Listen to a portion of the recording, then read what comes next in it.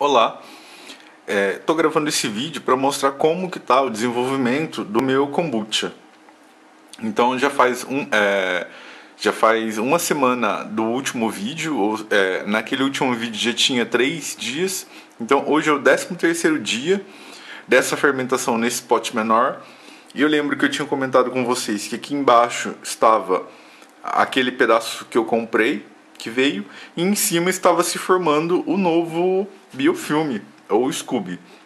E acabou se formando, e é bem interessante, porque eu relatei aquele movimento de, do desenvolvimento começar embaixo e depois eles irem para a superfície, que é algo que eu não encontrei relato em quase nenhuma parte da internet. Todo mundo sabe que o biofilme se forma na superfície, que o, o Scooby se forma na superfície, mas não que ele sai de baixo e vá para cima. Isso eu achei bem interessante, visto que aquele pedaço que eu comprei, ele continua aqui embaixo. Ó, dá para ver que aqui tem uma bolinha e o, o engraçado é que essa Scooby que se formou, ela o meio tá estufado para cima porque formou bolha embaixo dela. Eu vou ver se eu consigo mostrar aqui. Então, ó, ali dá para ver que tem umas bolhas embaixo dela e faz com que uma parte fique acima do líquido e a outra parte parece que ela deu uma deitada e está se formando aqui. Né? Na verdade já se formou.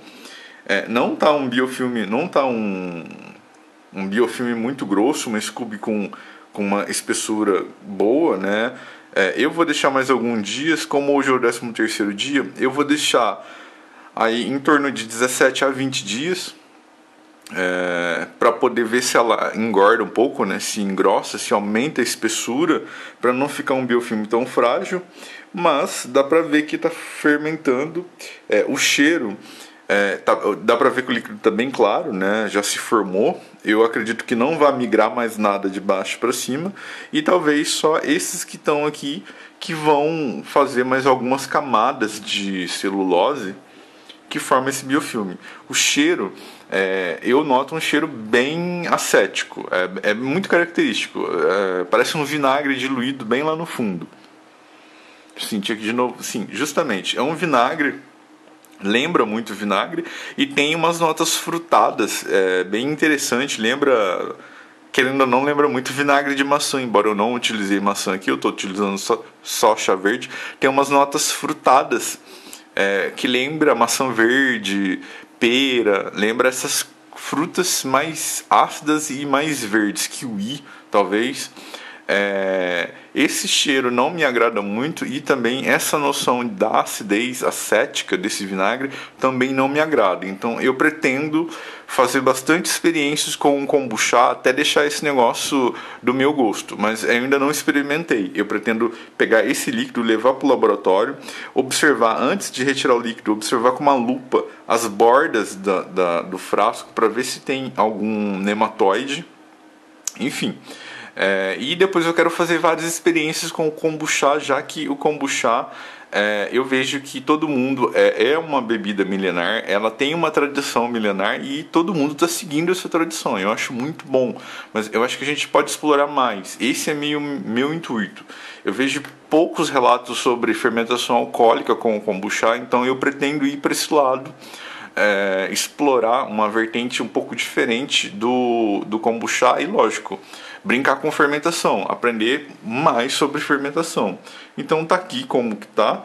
E agora eu vou mostrar aqui na tela do meu computador uma informação, mais uma curiosidade sobre kombucha que eu acabei encontrando, que é a respeito da White Labs.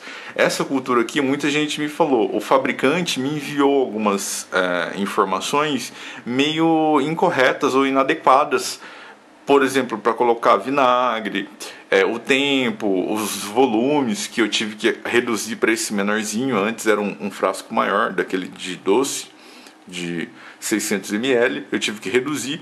Então a gente vê que ainda tem muita informação desencontrada do kombucha. Eu torno a bater nessa tecla e assim é, eu estou aqui para experimentar, eu não estou falando o que, que é o correto ou não do kombucha, eu estou fazendo experimentação. Você vai achar pessoas que já cultivam há muito tempo, há mais de 10 anos, que já têm experiência prática do kombucha.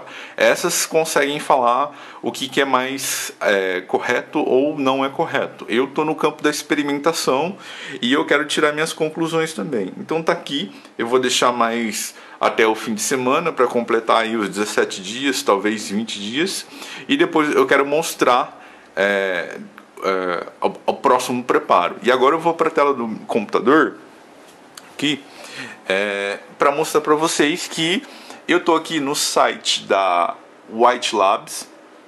A White Labs comercializa cultura de microorganismo. Aqui ela denomina é, WLP600. Os fermentos da White Labs normalmente começam com a sigla WL. É, isso é um registro deles. E aqui tem toda a descrição. Quem comprou o Scooby da White Labs normalmente segue esse padrão. Aqui tem uma descrição do que, que é. Eles identificaram os micro-organismos presentes no, no biofilme deles, ou seja, as bactérias e as leveduras. E aqui eles estão para vender. Quem quiser comprar, tem aqui, lógico, o site está em inglês, porque esse é o site norte-americano da White Labs. Aqui em comemoração, se eu não me engano, a 25 anos de empresa e por aí vai. Mas é, como muita gente me falou, ah, esse kombucha é bom e tem outras variedades de kombucha, e falaram desse que eu comprei que a procedência pode ser duvidosa. E eu vim aqui no site da White Labs para poder ver o que eles falam, já que esse é catalogado. Aqui tem todas as espécies de micro-organismos presentes que eles catalogaram. Aqui tem alguns documentos com algumas informações é, técnicas desse, desse kombucha que eles vendem. E eu vim aqui embaixo no próprio site tem aqui essas resources, que são fontes a mais. E aqui tem para uma receita de kombucha, visite aqui. É, lembrando que é uma receita da White Labs. Então eu cliquei, vai abrir essa página, White Labs é, Kombucha Recipe. Aqui o WLP600, que é o Scooby deles. Aqui tem uma série de descrição e olha os ingredientes. Ele fala aqui é, water, que é água, açúcar, chá, é, dois copos de starter, de chá de starter ou chá de arranque já fermentado, um Scooby é, por fermentação ou por frasco de fermentação e olha aqui uma xícara de vinagre. Então assim é, a própria White Labs, olha, eu tô aqui no link da White Labs, vocês podem entrar nesse link da White Labs que vocês vão ver aqui olha aqui que ele está recomendando vinagre. Então o próprio vendedor, o próprio fabricante dá uma informação que hoje a gente sabe que não é mais adequado. E eu fico pensando, será que para ele, é, para o White Labs, eles entendem que é adequado ou a gente que está muito equivocado? Então você começa a ver algumas informações muito estranhas. E provavelmente quem comprou o Scooby da White Labs, o Scooby em algum momento teve contato com vinagre, porque é, lógico, eu não estou falando com certeza, mas é, tem uma chance de ter, visto que a própria White Labs está recomendando numa receita é, uma xícara de vinagre. E aqui ele vem falando de questão de teor alcoólico e mais informação. Aqui tem o procedimento de preparar. Eu não vou lê-lo todo, mas eu achei bem interessante essa questão do vinagre. Aqui tem o material que utiliza, mas eu achei bem interessante essa questão do vinagre no site da White Labs. Então é isso, essas informações que eu gostaria de passar para vocês no momento. Eu vou voltar até aqui para o site da White Labs. É, essas informações que eu gostaria de passar para vocês. É, eu estou lendo alguns livros sobre kombucha, eu vou fazer alguns vídeos resumos desses livros é, e a minha opinião também. E era isso. É, já vou encerrar esse vídeo porque vai ficar muito longo e eu pretendo continuar ainda o assunto kombucha e também mais tópicos em fermentação, porque eu acho que dá para aplicar o conhecimento de fermentação em kombucha e em outros tipos de fermentação.